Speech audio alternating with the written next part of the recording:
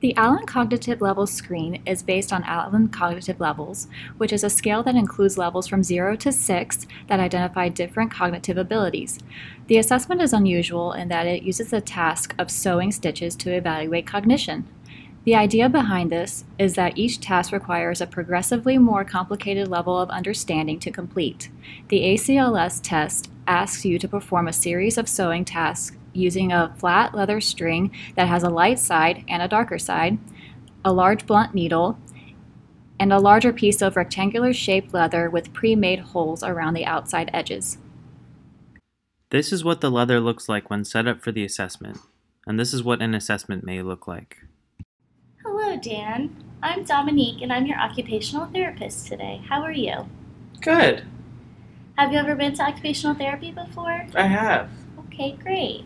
Well, today in occupational therapy, we're going to be working on a leather lacing activity. It's similar to sewing. Have you ever done anything like this before? No, I have not. Okay. The first task of the ACLS is performing a stitch called the running stitch, which loops through each hole in an alternating pattern. The goal is to make three running stitches in a row without skipping any holes. Completion of this stitch represents intact abilities of fastening buttons and other tasks related to dressing and basic self-care. Well, the first thing that we're going to do is I have three stitches on this leather lace, and we're going to complete, I'm going to have you complete all three. I have demonstrations right here of all three stitches, but we're going to go through each one, one by one. Okay. This is the first stitch. It's called the running stitch. I'm interested in seeing how you follow directions and concentrate. I will show you how to do a stitch now, so watch what I do carefully.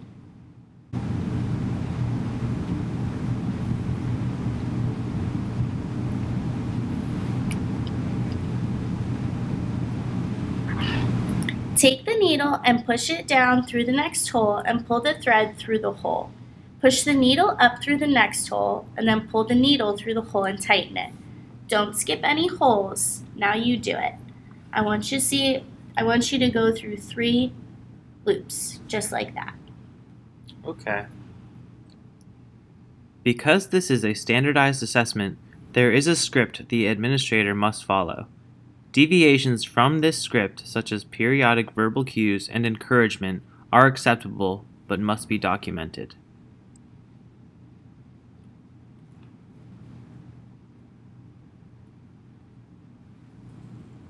Like that? Perfect. Cool. That's great. Now we can move on to the next stitch. This is called the whip stitch. Do you see how the leather piece right here has one shiny side on the brown side and then one dull side that's like black or gray? Yes. Okay. Well, we always want to keep the smooth, shiny side up that's visible around or between the holes. Now I will show you another stitch. Watch me carefully. Take the lace and bring it around to the front. Over the edge of the leather, push the needle through and pull tight. Now I want you to do the same thing. Push the needle through and pull tight and make sure that the leather isn't twisted. Don't skip any holes. Now you do three stitches. The whip stitch. This type loops over the outside edge of the leather card and back into the next hole. The goal is to maintain this stitch without twisting the leather or interrupting the overall pattern. Due to the increased complexity, completion of the stitch represents intact abilities related to medication management or meal preparation. Okay, I'm now going to make a mistake and see if you can correct it. One error that is shown to the client to problem solve is the cross and back error. The needle backtracks and crosses through behind the last stitch and forms a cross which interrupts the pattern. The goal is to recognize the error and then take action to correct the stitch. Do you see the mistake? I think so, yeah. Okay, let's see if you can correct it.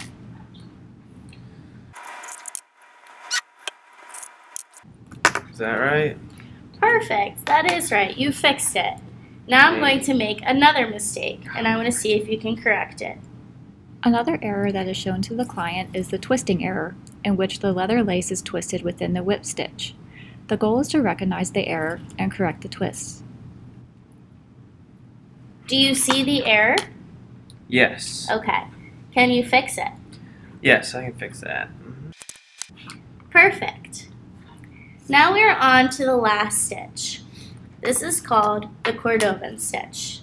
And this is what it looks like. Oh no. The last task is the Cordovan stitch, and this is the most complex task of the three stitches.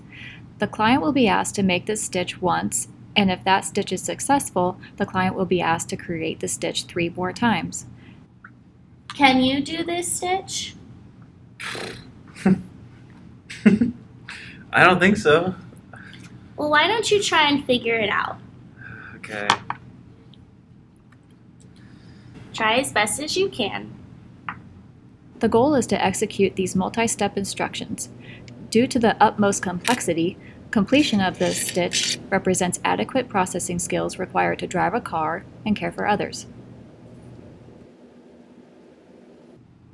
Is that almost it? It is. It has just one error. Okay.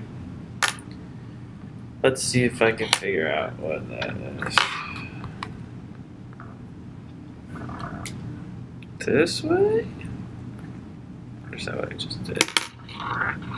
That's what I just did. this is tricky. It is tricky. Would you like a demonstration? I would, thank you, yes. There is no set time limit for this assessment because it is important to give the client enough time to try to work through challenging stitches in order to observe independent problem solving abilities. Unlike the first two tasks, this stitch challenges the individual to engage in self directed problem solving to figure out and complete the stitch before a verbal cue or demonstration are offered. Deciding when to offer verbal cues or demonstrations requires careful observation of what the person is recognizing and attending to in this problem solving process. Verbal cues are provided when requested or when it appears to be needed. A demonstration can also be provided, but only two times. If the individual does not appear to initiate or tolerate this process, even with encouragement, continue to do the first demonstration. Uh, I, I don't, I can't figure it out. Would you like a demonstration? I can show you. Okay, yeah, sure. Watch me carefully. Bring the needle around to the front of the leather and push it through the hole. Pull it just tight enough so that the leather is straight, is straight and it, there aren't any kinks in it. Then you'll take the needle and push it through the top of the hole, pulling it to the left side or keeping the loop on the left hand side of the leather piece. And then you want to pull through as tight as you can. Do you see what I did there? Okay, yeah. Okay. Now you do it three times. Three times. Yes. Uh, okay. Just try your best. Scoring of the ACLS is based on the ability to complete the task given. The more difficult the stitch and the task that is currently completed, the higher the score. Scores are broken down into numbers that correspond with specific levels of supervision and care that are likely to be needed to function in daily life. Scores range from a low of 3.0 to a high of 5.8. A score of 5.8 means that in general, you are able to function quite well independently in your own home. A score of less than 5.8 indicates that you will likely need or benefit from some type of assistance in daily living tasks. All right, Dan. Well, thank you for doing this leather lacing activity with me today. Based on the results, we're going to pick out an activity that you might be interested in completing while you're here in occupational therapy. Sound okay to you? Sounds good. Thank you. Great. I'll see you next time. All right. Bye. Bye. Based on the client's score and their current abilities, an activity can be chosen from the Allen Diagnostic Module as part of the treatment plan. In Dan's case, he would benefit from a magazine rack woodworking activity to address multiprocessing skills. Building activities are commonly known to be fulfilling to the individual while working on regaining abilities. Good.